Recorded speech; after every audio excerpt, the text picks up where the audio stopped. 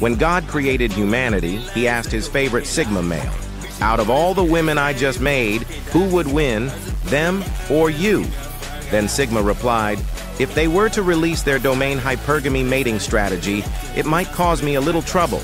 But would you lose? Nah, I'd win.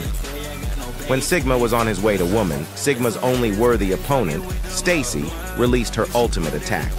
Be bisexual, eat hot chip, and lie. This powerful attack began annihilating every man in sight, but fortunately for Sigma, he nullified the attack with comments about her body count. After a long-fought battle, Sigma male emerged victorious. Then Stacy asked him, Are you based because you're red-pilled, or are you red-pilled because you're based? Then Sigma replied, When it comes to misogyny, I am a prodigy. Because throughout Twitter and Instagram, I alone am the based one.